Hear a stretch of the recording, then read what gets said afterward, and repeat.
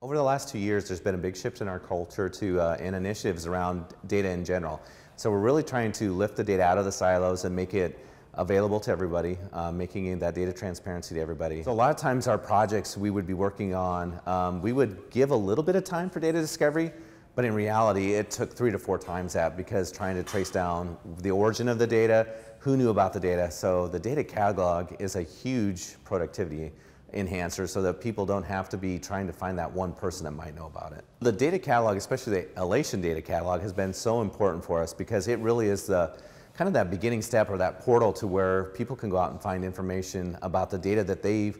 they've known a, you know, a little bit about or had no idea that was available for their use. Where we really get the value from and where our um, teammates get excited is the at referencing because we can build up this really rich documentation around the data